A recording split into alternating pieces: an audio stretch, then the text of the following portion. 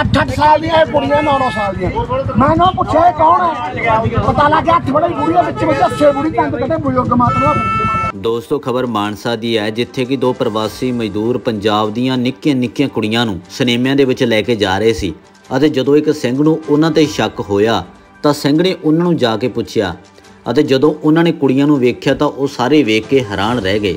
ਦੋਸਤੋ, ਇਹ 8-8 9-9 ਸਾਲ ਦੀਆਂ ਕੁੜੀਆਂ ਸੀ, ਜਿਨ੍ਹਾਂ ਨੂੰ ਪ੍ਰਵਾਸੀ ਮਜ਼ਦੂਰ ਸਿਨੇਮੇ ਵਿੱਚ ਲੈ ਕੇ ਫਿਰਦੇ ਸੀ। ਹੁਣ ਦੋਸਤੋ, ਤੁਸੀਂ ਵੇਖੋ ਕਿ ਪੰਜਾਬ ਦੇ ਵਿੱਚ ਕੀ ਕੁਝ ਚੱਲ ਰਿਹਾ ਹੈ। ਪਹਿਲਾਂ ਪ੍ਰਵਾਸੀ ਮਜ਼ਦੂਰਾਂ ਨੇ ਰੁਜ਼ਗਾਰ ਤੇ ਕਬਜ਼ਾ ਕੀਤਾ ਅਤੇ ਹੁਣ ਤੁਹਾਡੇ ਸਾਹਮਣੇ ਹੈ। ਇਹਨਾਂ ਨੇ ਪੰਜਾਬ ਦੀ ਇੱਜ਼ਤ ਤੇ ਵੀ ਅਟੈਕ ਕੀਤਾ।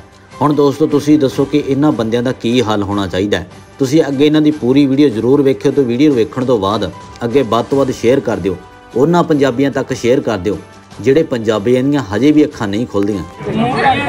14 ਸਾਲ ਕੁੜੀ ਨੂੰ ਮੈਂ ਇਹਨਾਂ ਨੂੰ ਪੁੱਛਿਆ ਨੇ ਕੱਪੜੇ ਦੇਖੋ, ਮੈਂ ਕੱਪੜੇ ਦੇਖ ਲਓ 8-8 ਸਾਲ ਦੀਆਂ ਇਹ ਕੁੜੀਆਂ 9-9 ਸਾਲ ਦੀਆਂ। ਮੈਂ ਇਹਨਾਂ ਪੁੱਛਿਆ, ਇਹ ਕੌਣ ਹੈ ਪਤਾ ਲੱਗਿਆ ਅੱਠ ਬੜੇ ਬੁੜੀਆਂ ਵਿੱਚ ਵਿੱਚ ਅੱਸੇ ਬੁੜੀ ਤੰਗ ਕਹਿੰਦੇ ਬਜ਼ੁਰਗ ਮਾਤਰਾ ਇਹਨੇ ਇਹਦਾ ਹੱਥ ਫੜਿਆ, ਦੂਜਾ ਦਾ ਪਾਦੀ ਉਹਨੇ ਹੱਥ ਫੜਿਆ। ਮੈਂ ਕਿਹਾ ਤਾਂ ਪੰਜਾਬੀ ਹੋਣਗੇ। ਮੈਂ ਇਹਨੂੰ ਪੁੱਛਿਆ ਵੀ ਕਿੱਥੇ ਧਾਰੇ ਮਾਰੇ ਹਾਂ। ਬਾਈ ਮਣਾ ਪਰਾਂ ਹੋ ਯਾਰ ਬਾਈ ਬਣ ਕੇ।